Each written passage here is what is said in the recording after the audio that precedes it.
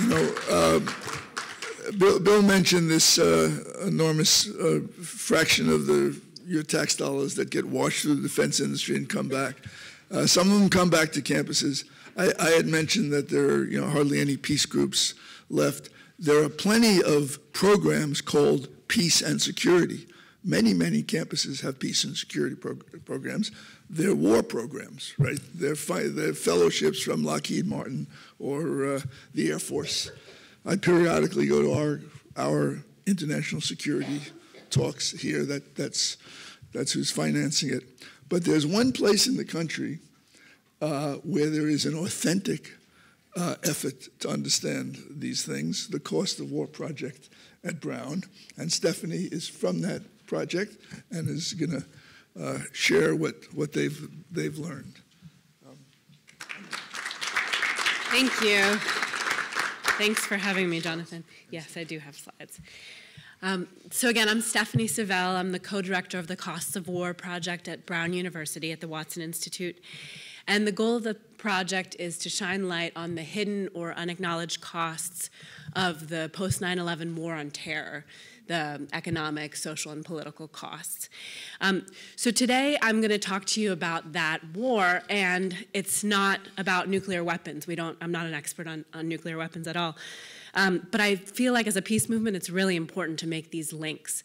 And the only way that nuclear weapons would get used, as people have pointed out, is in the context of conventional war. So um, I'm going to talk to you today about the War on Terror, which is now the longest running war in US history.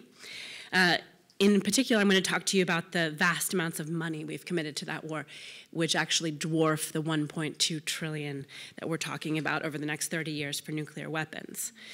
So, President George W. Bush began the global war on terror with Operation Enduring Freedom in Afghanistan in October 2001.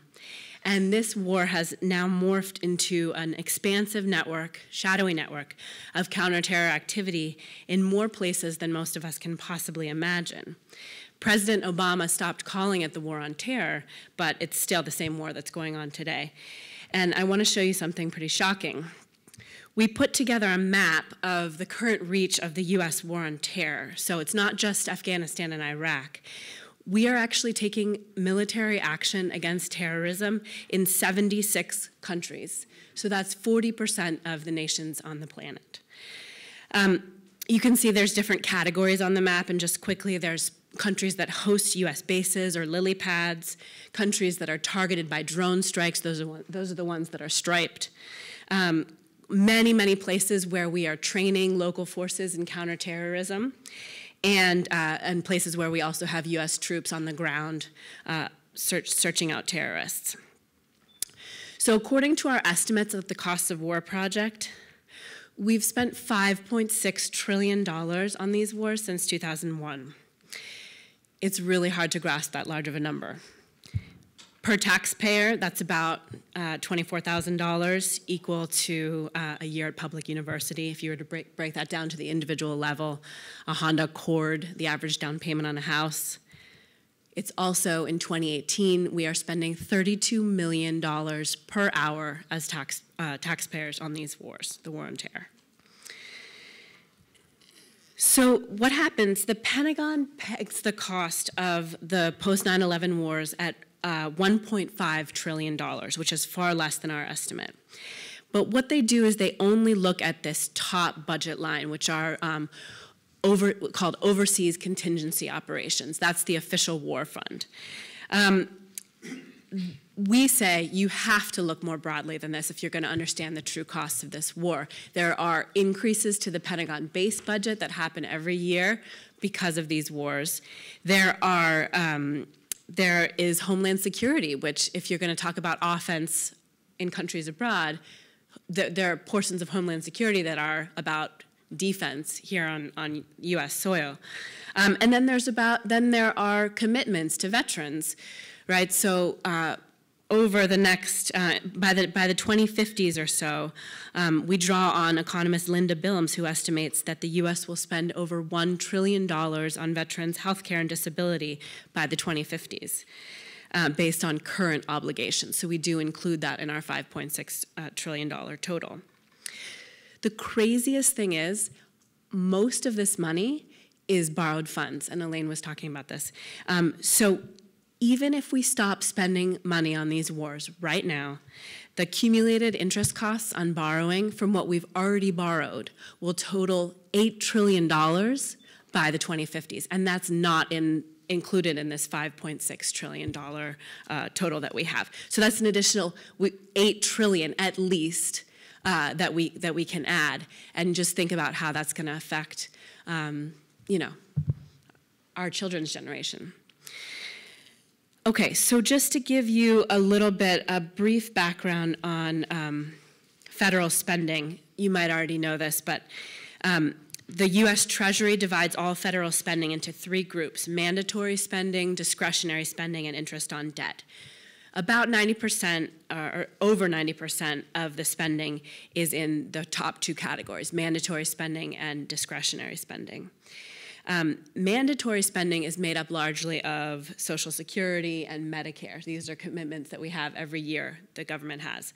Um, so when you talk about discretionary spending, that's when you're talking about pretty much everything else.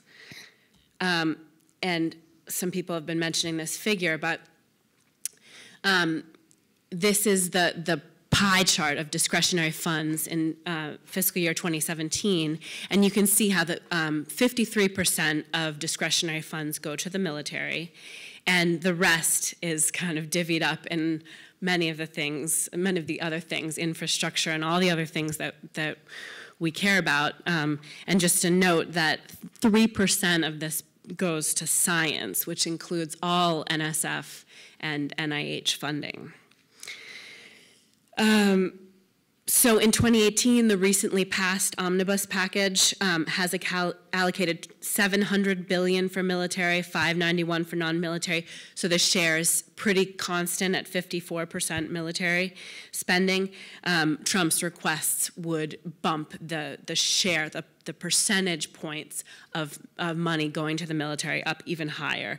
Um, by 2023, he's as asking for 65% of, of all discretionary funds to go to the military. Um, I was going to talk about, before I knew Bill was coming, prevalent myths about spending. So we've already talked about the fact that you have to spend money on the Pentagon because it's for the troops, but it's actually half of it goes to these private corporations, right? And then the, the other myth is about jobs. So we have a paper, um, you know, the common claim that, that at least if you spend money on the military, it's going to create jobs. Well, um, there's an economist named Heidi Garrett Peltier. I think she'll be here later today. Oh, hi. um, we, she, we have a paper of hers on our site that shows that um, government funds spent in other sectors outside of the military, like education, healthcare, green energy, create far more jobs per dollar spent uh, than military spending. Um, so I want to just close by speaking for a moment about uh, the cultural detachment that we as Americans have in regard to these so-called war on terror. It's not that we don't care about it as a society, but uh, 17 years after it began, we, it's a topic we really, it doesn't really fire a lot of us up. And um, the fact is that we really don't think of ourselves as at war as a nation, and we are. Um, these wars, it's not just the financial costs. We're piling this debt onto our children, yes, but we're also killing hundreds of thousands of innocent civilians. We're displacing hundreds of thousands more. We're disabling a generation of American veterans.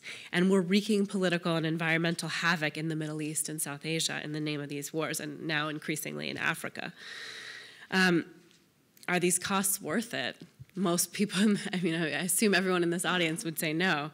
Um, but, but basically, the terrorism is not stopping as a result of our activities. If anything, it's growing.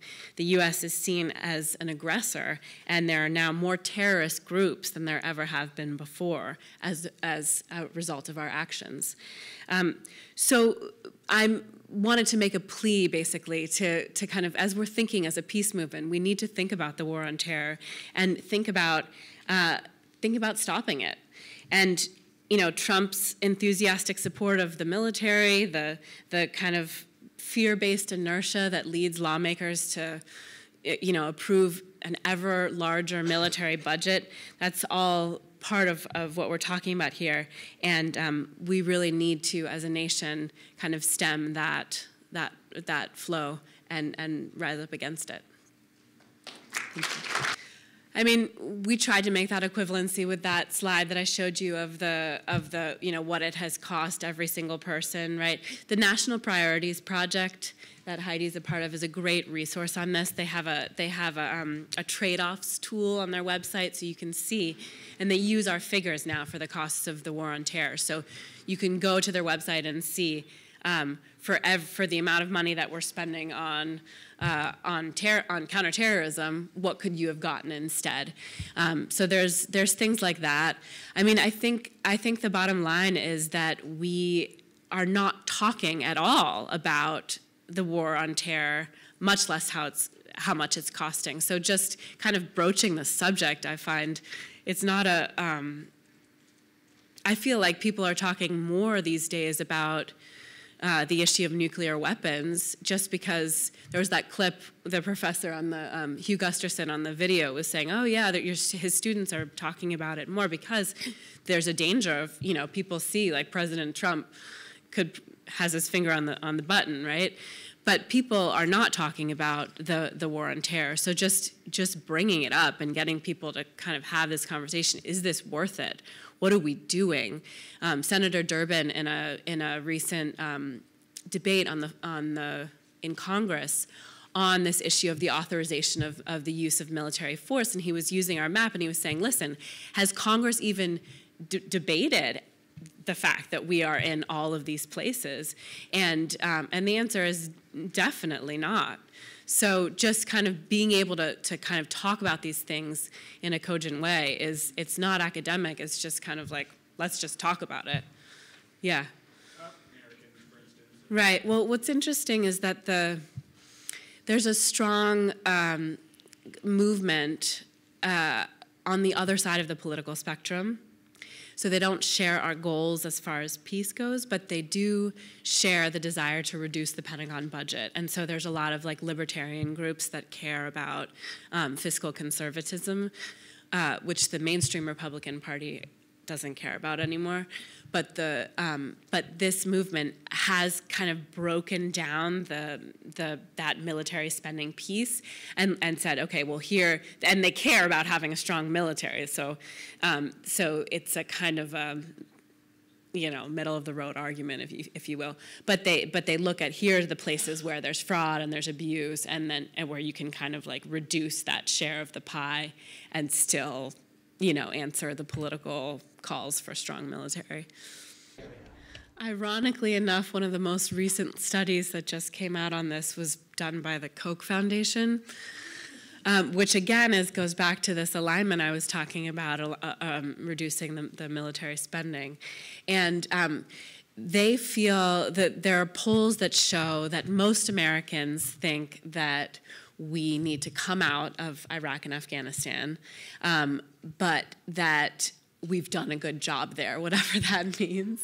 Um, but but overwhelmingly, I think like um, 60% or something like that of Americans are in favor of pulling out. I don't know about the issue of nuclear support for nuclear spending. On the Pentagon, people have no clue, basically. That's what the poll showed. People have no clue at all uh, the scale, the enormity of how much we're spending on the Pentagon. Let me just say, uh, just on, on, this particular uh, point, uh, most people in this room have been paying income tax for decades, right, half a century. Have any of you ever gotten a report back from the federal government or the IRS or any agency on how that money is spent? No. Americans do not know, they've never seen that pie, pie, graph. And in my experience, and I'm at a lot of conferences about housing and transit and education, the only thing that gets through, you put up that pie chart showing that half people's tax dollars go to Pentagon, and first they don't believe it. They don't believe it. So I'm an educated person. I, I would have known if half my tax dollars. They do not know this. So personally, I think that is extremely important that we get that kind of information out. It's not easy. One little initiative we had this year, it's not on the agenda of this conference, but we're going to move it next year. It's this Taxpayers Information and Transparency Act, where we ask the state to just send people who live in Massachusetts the pie chart on how the federal government, just like your, your city sends you how the property tax is spent, how much for fire, how much for school, uh, et cetera, let people know. If people knew how much was being spent, their attitudes would change. Anyway, let's thank our panel. We,